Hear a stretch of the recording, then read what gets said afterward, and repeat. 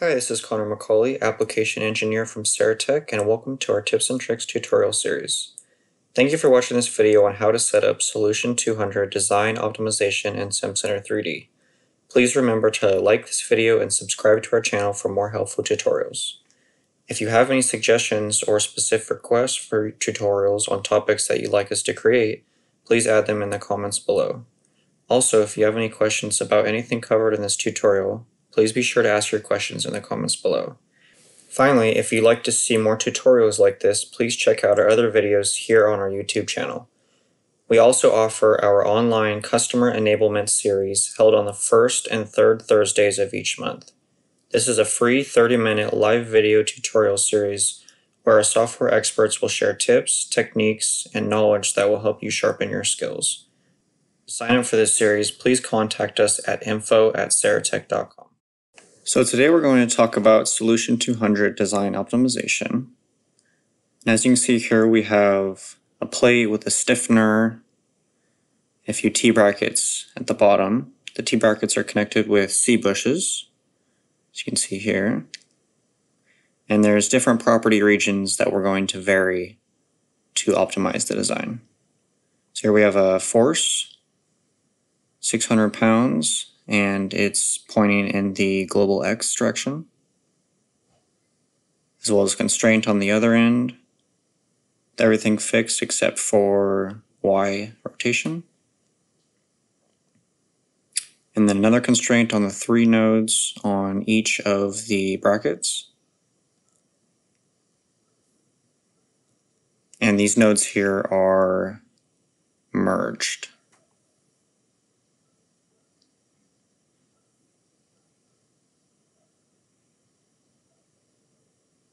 Okay, so we're to go ahead and open up, show you the C-bushes that we have. We have a titanium sheet, which is this here, the stiffener on the top, the chem-mill pockets, which are in yellow, and then the T brackets on the bottom. Going back to the simulation file.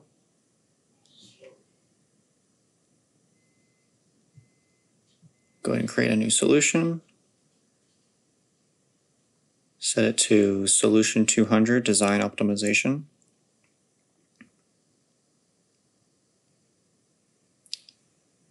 Hit OK. It's going to bring up the solution step.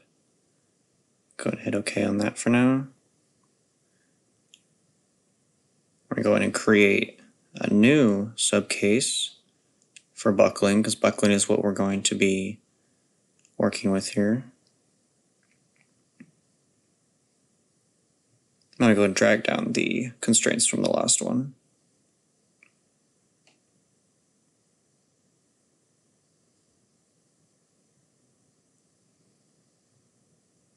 So we need both a static and a buckling case here. The static is going to apply the load that we just added, and then it'll use that for buckling.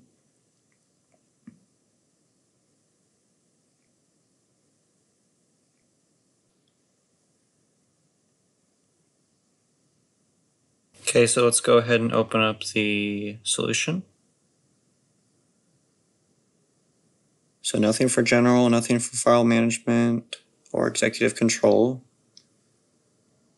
In the case control, we're going to go ahead and set up a design objective. That design objective is to get the minimum weight. So under the response, we have labeled minimum weight, total model weight. Go ahead and hit OK.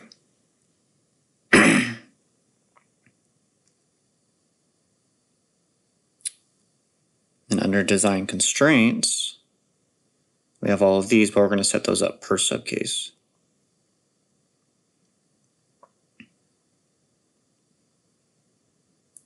In bulk data, we have the design variables here. So these are going to be the different thicknesses that we're varying for each property region.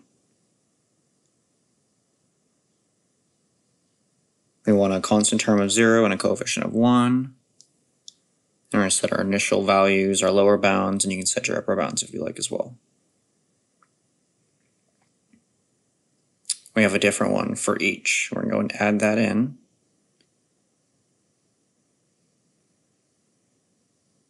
Hit close. So now you see we have all four of our design variables that will be adjusted to reach our design objective within our constraints that we're going to set up. So here are constraints.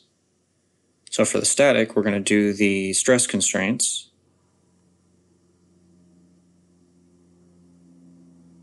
You can see for each of those, we set an upper bound on stress limit that we wanted. So you're to have to look up the item code. The item code will tell you which stress output you're going to be relating that to. Go close out of that. And then go into the buckling subcase.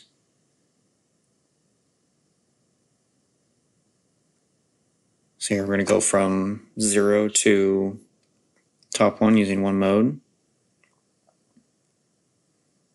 And here's where we're going to use our eigenvalue constraint. So the lowest eigenvalue we want is 2. We're going to set it to buckling modes.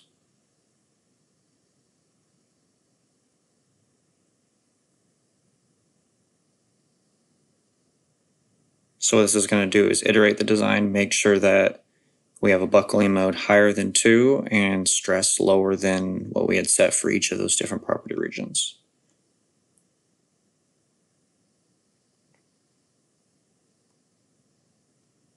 I'll go ahead and solve the solution.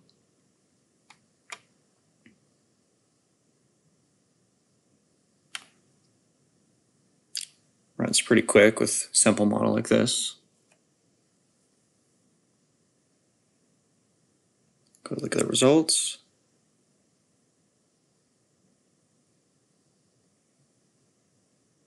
So this is our buckling mode after running through all the design cycles and then stress just under 3000 like we had set.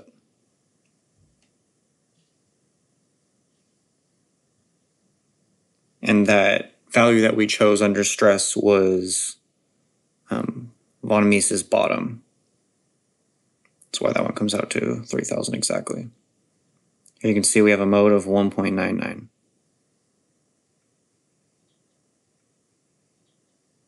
Go ahead and look in the F06. You can see all of our different outputs. So that tells you our initial weight and our final weight.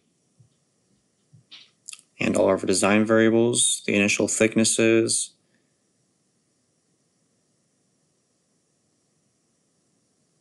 And then finally, our final thicknesses that we came up with. So what you can do is take these and go ahead and re-input them into your model, and this will be your new optimized design.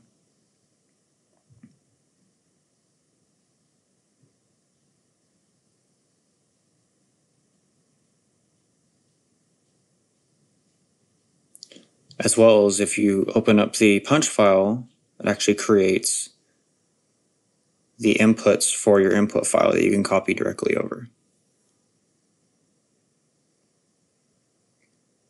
Thank you for watching this video on Solution 200 Design Optimization. Please remember to like this video and subscribe to our channel for more helpful tutorials.